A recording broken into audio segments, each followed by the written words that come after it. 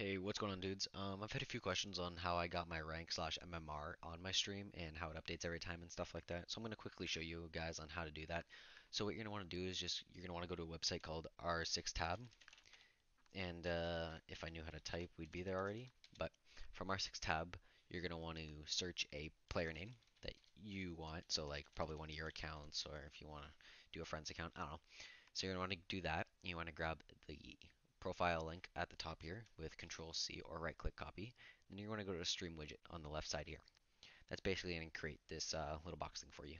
So you're going to paste the link you just copied right here. And you'll see it update right there for you. That way you know that the profile is registered. And then this is the background color where this gray transparent thing is.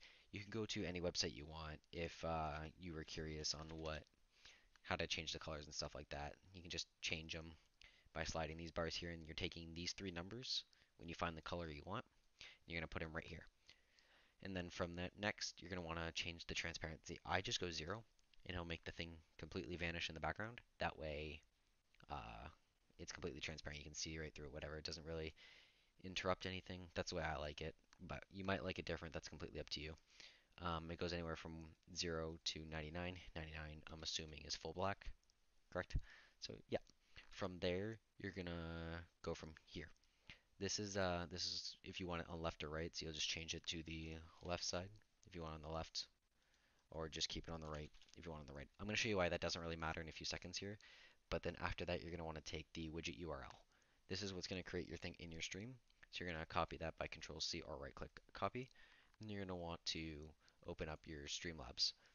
From there, you're going to want to go to this plus. You're going to want to double click on the browse source. Name this whatever you'd like. Doesn't really matter. And then from there, you're going to hit, you're going to highlight this.